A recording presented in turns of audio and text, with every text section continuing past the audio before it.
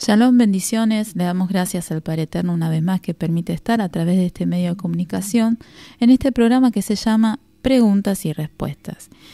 Y ya en lo que es este segundo programa, gracias al Padre Eterno, en el programa anterior estuvimos viendo acerca de que es un profeta y relacionado con eso, en este programa, con la ayuda del Padre Eterno, vamos a estar viendo acerca de qué es la profecía, continuando con, e, con esa serie de preguntas que comenzamos en el programa anterior. Y hoy específicamente vamos a estar viendo qué es la profecía, qué es el don de profecía, eh, qué diferencia hay con el, el profeta, y qué es cuando me hablan de que tengo que saber cuando una profecía es verdadera, cuando una profecía es falsa, qué me dicen las escrituras respecto de eso, qué es la finalidad de este programa. La finalidad de este programa, preguntas y respuestas, justamente es tocar un tema eh, en cada programa y poder analizarlo discernirlo con la ayuda del Espíritu Santo, poder analizarlo eh, buscando en las escrituras del Padre Eterno. Y también vamos a tener invitados muchas veces en, estos programas donde también vamos a preguntarle a personas maduras eh, en la fe, en el camino del Señor, qué es lo que el Padre Eterno les ha enseñado en sus experiencias en el caminar del Padre Eterno con el Padre Eterno. Bueno, el tema que vamos a tocar hoy dijimos que es la profecía y arrancamos definiendo qué es la profecía. Em, eh, cuando vamos al diccionario de la Real Academia Española, el diccionario nos dice que es un don sobrenatural que consiste en conocer por inspiración divina las cosas distantes o futuras eh, tiene varias definiciones, yo voy a tomar algunas nada más, eh, dos más, una que dice que es una predicción hecha en virtud de un don sobrenatural y otra definición que también nos dice el diccionario que es un don sobrenatural para pronunciar oráculos en nombre y por inspiración de Dios. La palabra profecía viene del griego profeteia y significa anuncia de lo que va a ocurrir en el futuro. Ahora, esto definiendo la palabra profecía en su etimología, o sea, en la composición de la palabra. Y cuando vamos al hebreo, en el hebreo se dice nebúa, que significa predicción, eso sería en singular, y cuando hablamos en el plural en el hebreo, por cuanto se trata de una palabra femenina, en el plural se llama nebuot y eh, tiene que ver con predicciones ya sean orales o escritas. Entonces vamos a hablar eh, qué es la profecía como don y cómo es el ejercicio de ese don, tanto en una persona que quizás esa manifestación del Espíritu Santo es una mm, solamente unas pocas veces, o el ejercicio del don de profecía ya en lo que es el ministerio de un profeta y vamos a hablar de la profecía como anuncio o revelación. Definimos, según la palabra del Padre Eterno, la profecía es un anuncio, es una revelación, es un mensaje profético, es el mensaje que procede del Padre Eterno. Ese mensaje eh, del Padre Eterno es transmitido a través de una persona, que esa persona puede ser un profeta o no. Y ahí hablamos, lo, empezamos a hablar de lo que es el don de profecía. Eh, pero siguiendo lo que es la definición de profecía, decíamos que es un mensaje profético, o sea, es un mensaje, un, anuncio, un mensaje que viene del Padre Eterno. Ahora ese mensaje que viene del Padre Eterno puede hablarme del pasado, de algo inmediato, o sea, del presente o de algo por venir. Entonces, por eso es importante poder discernir con la ayuda del Padre Eterno. Ahora, cuando hablamos del don de profecía, decimos que el don de profecía es un don espiritual, es un don del Espíritu Santo. Eh, no es por ese don, es algo que viene del Padre Eterno, es un regalo del Padre Eterno, es algo sobrenatural, que no viene por voluntad humana, no viene por un mérito, por algo que yo pueda hacer, sino que viene directamente del Padre Eterno a través de su Espíritu Santo. Es una, el don es una manifestación del Espíritu Santo.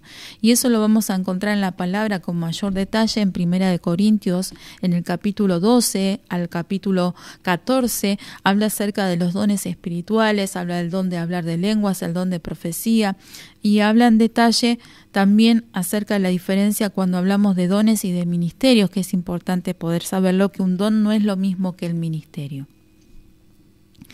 Entonces decimos que definimos que el don es una manifestación del Espíritu Santo. En este caso estamos hablando de esa manifestación del Espíritu Santo como el don de profecía, ¿sí? Y hablamos que el profeta, lo que fue el programa, repasando un poquito lo que fue el programa anterior, el profeta es el portavoz, aquel que ejerce, eh, y hablábamos que profeta podía ser aquel que en un momento muchas veces se llama eh, profeta, al que ejerce el don de profecía, pero quizás no tenga el ministerio de profeta.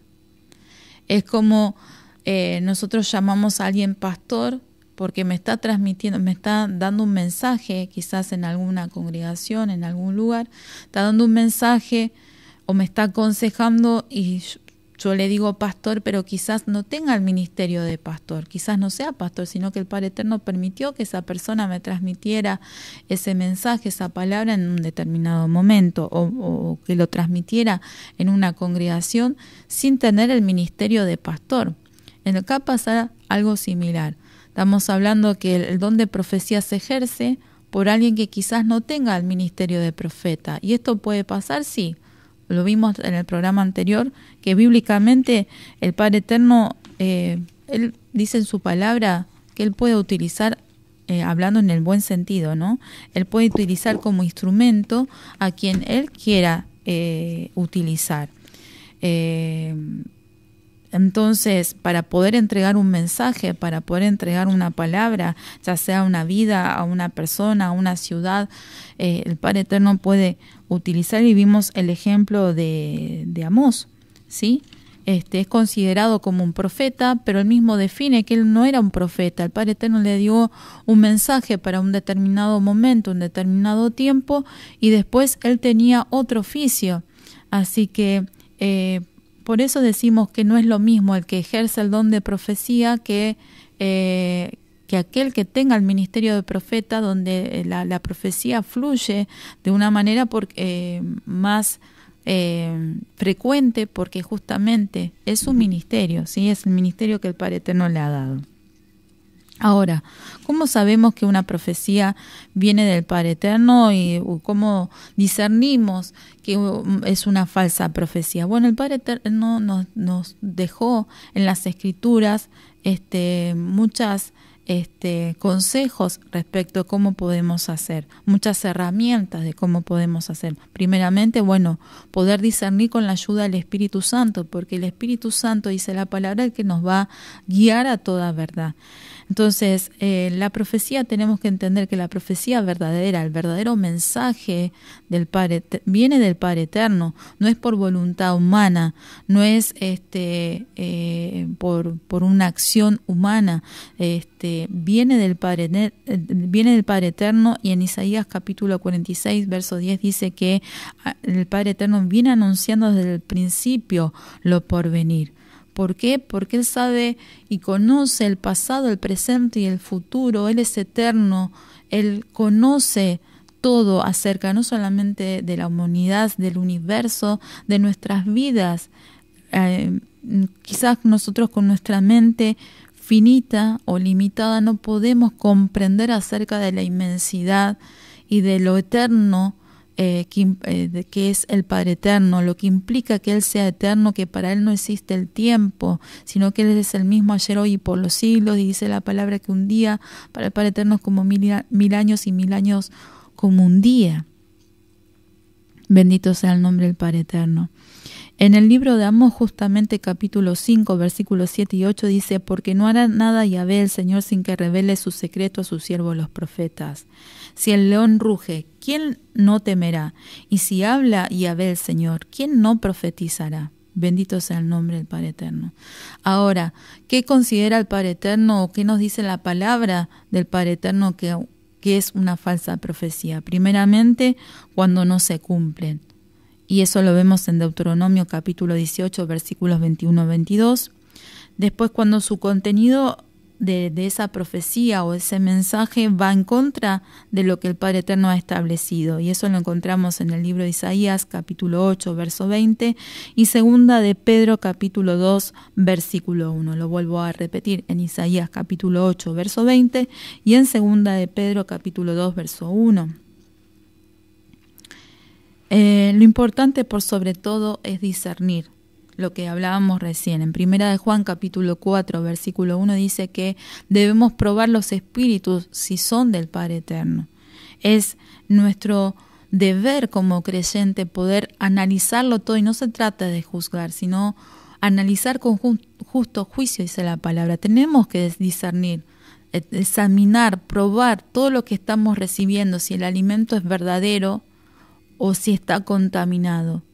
Como hijos del Padre Eterno tenemos que discernir qué alimento espiritual estamos recibiendo, qué mensaje, si el mensaje que se, nos está entregando, se está entregando al pueblo, viene del Padre Eterno o no viene del Padre Eterno, porque una de las señales que va a haber en los últimos tiempos, dice Mateo 24, que se van a levantar falsos profetas, falsos evangelistas, Van a haber falsas profecías, lo dice la palabra del Padre Eterno. Y el Padre Eterno nos dio herramientas. ¿Cuál es esa herramienta? Es el discernimiento del Espíritu Santo, es la ayuda del Espíritu Santo que nos va a guiar a toda verdad. Ahora, ¿cómo puedo saber? Y para eso, ¿cómo puedo escuchar la voz del Espíritu Santo? Para eso tengo que tener una, una comunión con el Padre Eterno, tengo que tener un acercamiento al Padre Eterno. No puedo orar una vez al mes. Necesito en forma diaria acercarme al Padre Eterno, estar en su presencia para poder escuchar y discernir su voz y poder atender a lo que Él me está diciendo, atender a sus advertencias, atender a sus consejos. Para eso necesito estar en esa comunión íntima, estar en su presencia. Bendito sea el nombre de Yahvé. Es importante discernir porque las, y también es importante discernir algo, que eh, a veces las profecías que se entregan a través de vasos, de instrumentos del Padre Eterno, quizás no se cumplan en lo inmediato. Y tenemos que discernir si esa profecía es para lo inmediato o quizás tenga un cumplimiento en el tiempo del Padre Eterno. ¿Y en el, qué significa en el tiempo del Padre Eterno? Que pueda ser quizás no para este año, no para este mes, no para esta semana, sino en el tiempo del Padre Eterno. Que, van a, que en el tiempo del Padre Eterno puede ser que, hayan, que se tengan que dar condiciones para que se pueda cumplir esa palabra del Padre Eterno. Y no es porque el Padre Eterno se equivoque o esa, esa profecía que, me, que entregaron era una, era una falsa profecía, sino que muchas veces hay profecías, hay palabras que el Padre Eterno entrega a través de sus vasos, que hay condiciones que se tienen que dar para que se pueda cumplir esa palabra del Padre Eterno. Por ejemplo, si yo no soy obediente, al Padre Eterno, si yo me aparto de los caminos del Padre Eterno, y probablemente que ese mensaje que me fue entregado quizás no se cumpla o quizás quede estancado hasta que yo pueda reconciliarme con el Padre Eterno. Entonces, por eso es, importante discernir para qué tiempo, porque muchas veces esos mensajes son entregados, vamos a dar un ejemplo, eh, por ejemplo, hay personas que el Padre Eterno les entrega un mensaje a través de un profeta y les dice, eh, que los va a levantar como pastor, pero no significa que en ese momento ya van, tengan que salir a poner una congregación y, y porque ya es pastor.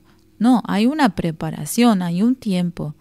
En lo inmediato está esa preparación, pero en lo inmediato, en el tiempo del Padre Eterno, mientras esa persona sigue buscando el Padre Eterno, se sigue preparando y atraviesa ese proceso, esa preparación del Padre Eterno, después va a ser, se va a cumplir lo que el Padre Eterno habló en ese momento de que lo levantaba como pastor. Pero todo tiene su tiempo. ¿Y cómo podemos saber los tiempos del Padre Eterno? Con la ayuda del Espíritu Santo. Y, y también si nosotros no estamos seguros, por eso es importante tener esa comunión tenemos que preguntarle al Padre Eterno. Y muchas veces muchos preguntan o nos o dicen, pero todo hay que preguntar al Padre Eterno. Sí, a Él le agrada que nosotros le preguntemos. A Él le gusta que nosotros eh, le, preguntemos y le consultemos. Porque Él es, tiene que ser el fundamento de nuestras vidas. Y si Él no es el fundamento de nuestras vidas, ¿qué es lo que está siendo principal en nuestras vidas? La palabra dice en Deuteronomio capítulo 6, versículo 4 al 9, en el Shema, amarás a Yahvé, tu Elohim, tu Dios, con todo tu corazón, con toda tu alma y con todas tus fuerzas. Cuando me habla de amarlo con todas mis fuerzas, significa que a Él lo pongo en primer lugar. Y todo, toda mi vida se tiene que acomodar a, a su voluntad. Esto es cuando estamos dispuestos, porque el Padre Eterno no obliga a nadie. Esto si nosotros queremos las bendiciones del Padre Eterno, si esto, esto es si nosotros queremos vivir conforme a la voluntad del Padre Eterno, porque el Padre Eterno no obliga a nadie. El Padre Eterno nos dice, este es el camino que lleva a la vida y este es el camino que lleva a la muerte.